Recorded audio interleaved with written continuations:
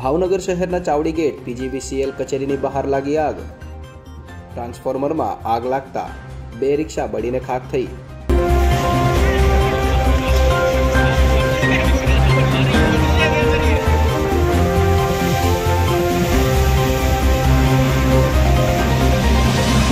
સાથે બહાર રાખેલો વેસ્ટ ફર્નિચરનો સામાન પણ બળીને ખાક થઈ ગયો.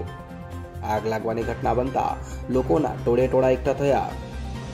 સ્થાનિકો દ્વારા ફાયરને જાણ કરાતા ફાયર ઘટના સ્થળે પહોંચી આગ પર કાબુ મેળવ્યો. આગનું કારણ કે નુકસાની જાણવા મળી નથી. સદનસીબે આ ઘટનામાં કોઈપણ પ્રકારની જાનહાનિ થઈ ન હતી.